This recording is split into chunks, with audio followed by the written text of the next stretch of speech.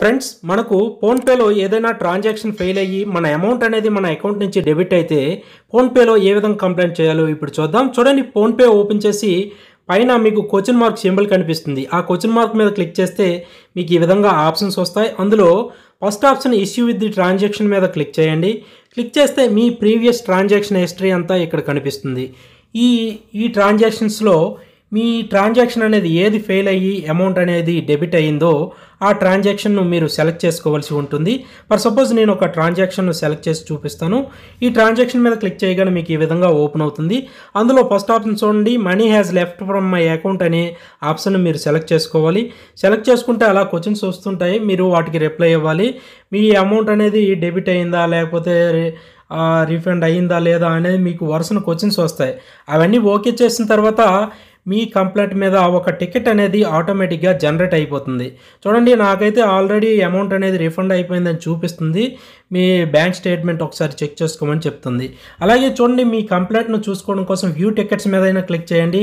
లేదంటే question mark మీద click చేసి హెల్ప్ పక్కన ఉన్న వ్యూ టికెట్స్ మీద క్లిక్ చేస్తే మీ కంప్లైంట్కి సంబంధించిన ఆల్ టికెట్స్ అనేవి మీకు ఇక్కడ కనిపిస్తాయి. చూడండి మీ కంప్లైంట్స్ అన్నీ వరుసను కనిపిస్తాయి. ఇప్పుడు మీ కంప్లైంట్ ఆ నెంబర్ మీద క్లిక్ చేస్తే మీకు అక్కడ కనిపిస్తుంది ఓపెన్ అవుతుంది చూడండి. మీ కంప్లైంట్ టికెట్ అనేది ఓపెన్ అయింది. ఓపెన్ అయిన తర్వాత చిన్న బ్లూ కలర్ లెటర్స్తో సోమోర్ అని ఉంటుంది. ఆ సోమోర్ మీద క్లిక్ చేస్తే కంప్లీట్ డీటెయిల్స్ అనేది మీకు అక్కడ చూపిస్తుంది. చూసారా ఈ విధంగా? అలాగే మీరు చూడండి బ్యాంక్ స్టేట్మెంట్ కానీ లేదంటే ట్రాన్సాక్షన్ సంబంధించిన స్క్రీన్ షాట్ కానీ అప్లై చేయాలనుకుంటే ఆ ట్రాన్సాక్షన్ ఓపెన్ చేసి ఇలా స్క్రోల్ చేస్తే లాస్ట్లో మీకు అటాచ్ ఫైల్ అని ఉంటుంది. చూడండి. అటాచ్ ఫైల్ మీద క్లిక్ చేసి మీరు మీరు ఆ స్క్రీన్ షాట్ను అప్లోడ్ చేసుకోవచ్చు. అలాగే రిప్లై మీద క్లిక్ చేసి మీ ప్రాబ్లంను మీరు అక్కడ ఎంటర్ చేసి వారికి సబ్మిట్ చేయవచ్చు. ఈ విధంగా మీరు కంప్లైంట్ చేస్తే ఫోన్పే నుంచి NPCI national payment corporation of ఇండియాకి ఫోన్పే నుంచి రిక్వెస్ట్ అనేది వెళ్తుంది. మీ ప్రాబ్లం అనేది తొందరగా రిజాల్వ్ అవ్వడానికి అవకాశం ఉంటుంది. అలాగే ఫోన్పే కస్టమర్ కేర్ నెంబర్ కూడా ఉంది. మీరు గూగుల్లోకి వెళ్ళి ఫోన్పే డాట్ కామ్ అనే సైట్ను మాత్రమే విజిట్ చేయండి. అదర్ సైట్స్ ఏవి ఓపెన్ చేయకండి. అందులో నెంబర్స్ కూడా కాల్ చేయకండి. ఓపెన్ చేశాక చూడండి మీకు టాప్ త్రీ లైన్స్ మీద క్లిక్ చేస్తే కాంటాక్ట్ అస్ అనే ఆప్షన్ మీకు కనిపిస్తుంది.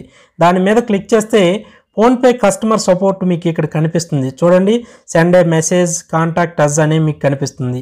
ఈ కాంటాక్ట్ అజ్ కింద మీకు టూ ఫోన్ నెంబర్స్ అనేవి మీకు కనిపిస్తాయి.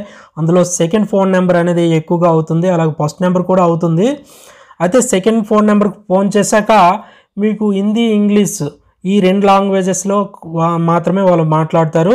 మాట్లాడిన తర్వాత మీ ప్రాబ్లం అనేది మీరు చెప్పాల్సి ఉంటుంది. ఫస్ట్ మీ ఫోన్ నెంబర్ అడుగుతుంది ఫోన్పే ఫోన్ నెంబరు నెక్స్ట్ ఇంకా అవసరమైతే యూటీఆర్ నెంబర్ అడుగుతుంది. మీ ట్రాన్సాక్షన్ కింద యూటీఆర్ నెంబర్ అనేది ఒకటి ఉంటుంది.